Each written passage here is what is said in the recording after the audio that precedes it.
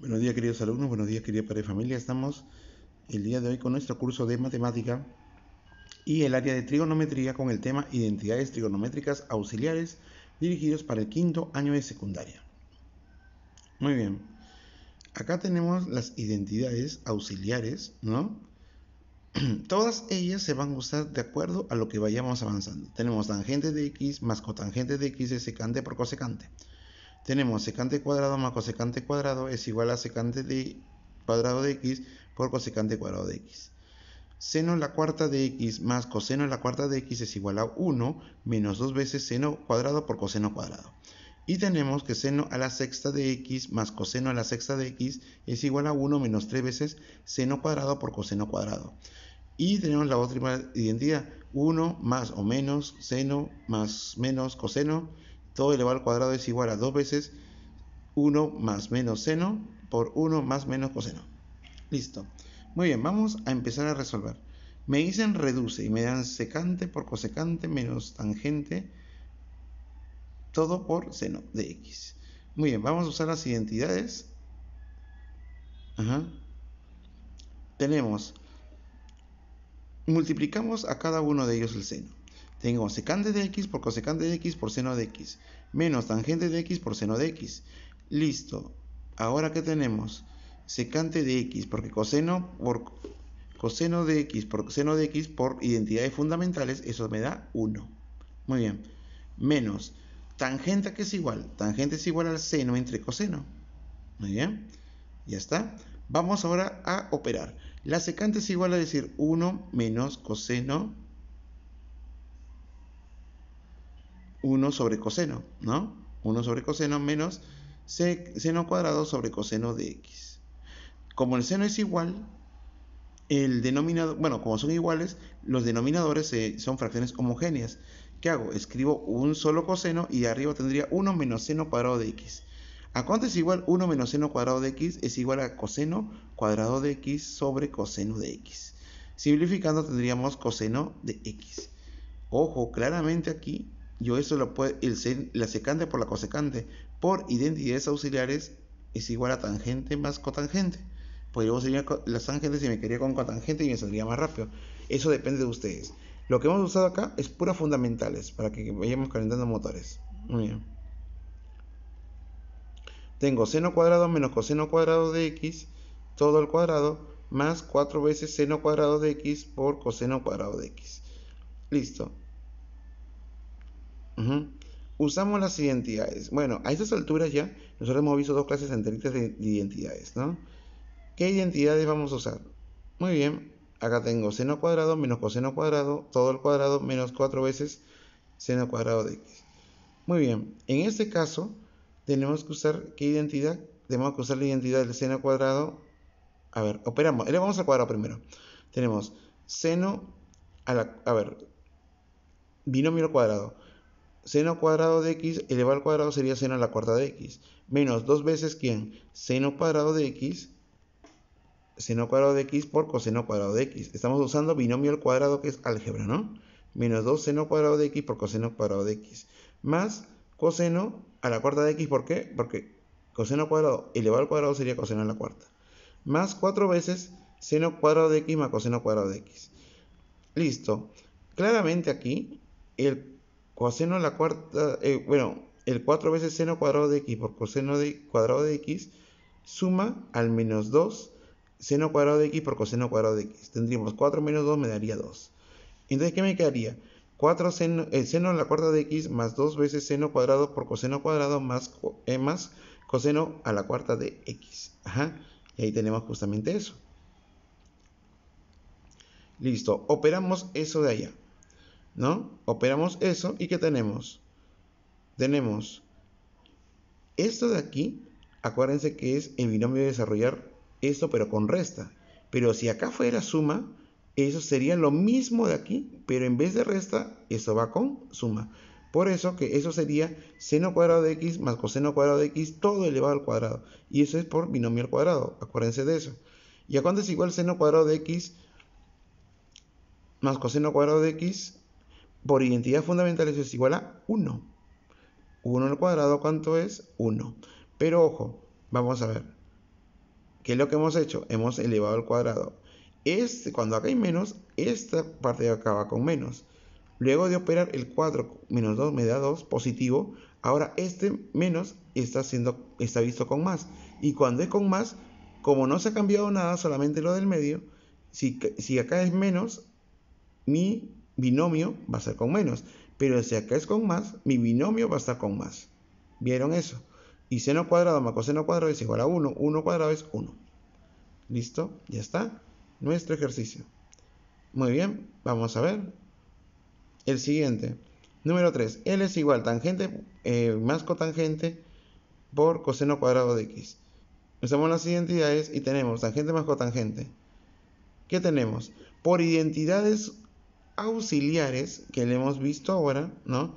Por identidad auxiliar, que creo que es la primera identidad auxiliar, tangente más cotangente es igual a secante por cosecante.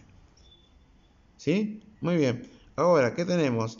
Secante es igual a cuánto? 1 menos coseno, 1 sobre coseno. Y tangente, y cosecante, perdón, es 1 sobre seno. Todo por el coseno cuadrado de x. Coseno se van y me quedaría solamente coseno sobre seno. Y coseno sobre seno por identidades fundamentales es cotangente del ángulo x. Perfecto. Así es como tienen que hacer nada más este tipo de ejercicios. Hemos usado la identidad fundamental, perdón, la identidad auxiliar número 1. Muy bien, la número 4, ¿qué me están diciendo? A es igual 9 veces que seno de la cuarta de x más coseno de la cuarta de x. B es 6 veces seno de x, seno de la sexta de x más coseno de la sexta de x. Me dicen que a menos b es n. Me dicen n cuadrado más 9. Muy bien, tenemos a es igual a, a 1 menos 2 seno cuadrado por coseno cuadrado. Eso es por identidad auxiliar, ¿sí? Seno a la cuarta más coseno a la cuarta es 1 menos 2 seno cuadrado por coseno cuadrado.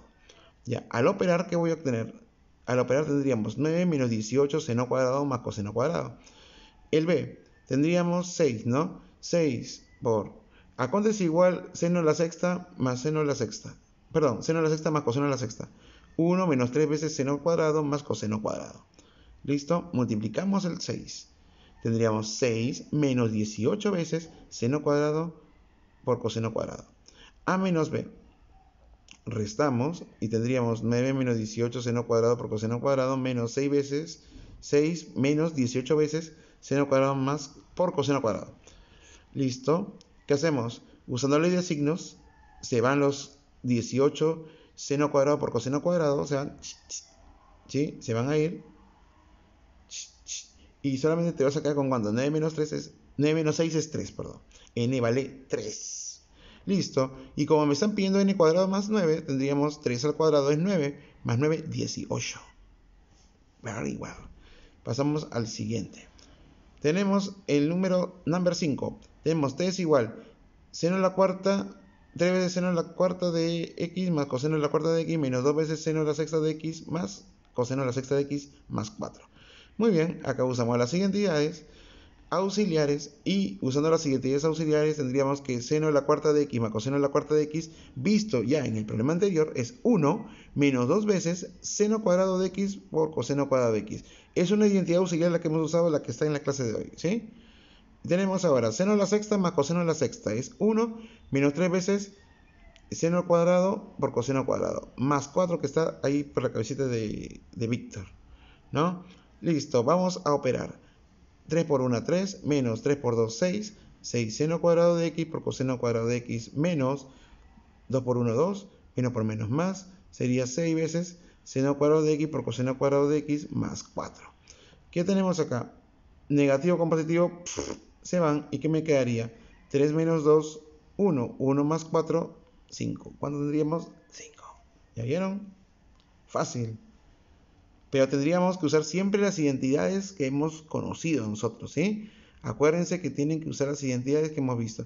Y en ese problema número 6, lo que estamos viendo justamente es 1 menos seno cuadrado de x menos coseno cuadrado de x, perdón, 1 menos seno menos coseno todo al cuadrado.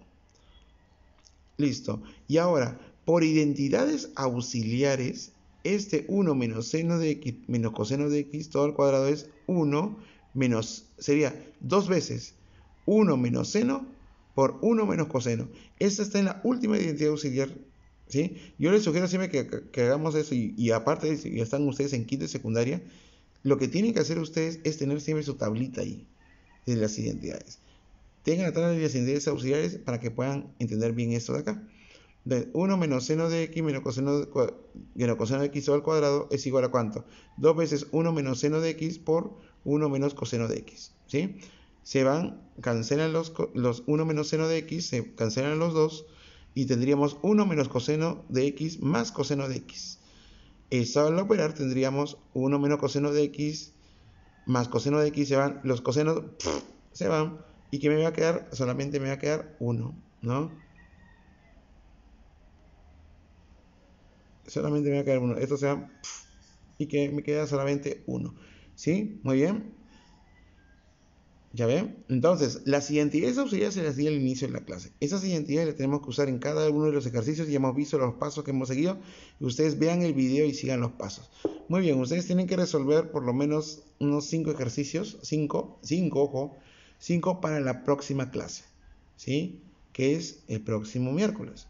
Tienen una semana para hacerlo. ¿Sí? Una semana para poder resolver los 5 ejercicios. No se rindan entiéndelo hasta el final, usen su tabla de identidades fundamentales y derivadas, tiene que estar en su mesa. Eso tiene que estar ahí plasmado y con eso tienen que trabajar. Y eso se les va a hacer más fácil.